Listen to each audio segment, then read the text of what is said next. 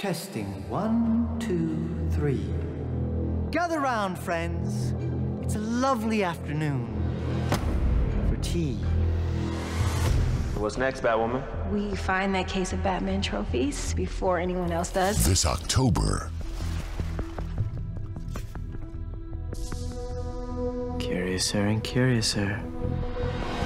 By the order of the mayor's office, you will be remanded into supervised custody. Any questions? Yes. Does this wreck my ensemble? she's back. My team gets a beat on the Batman trophy, and then you use your creepy brain to figure out where it is. Mad as a hat. Batwoman,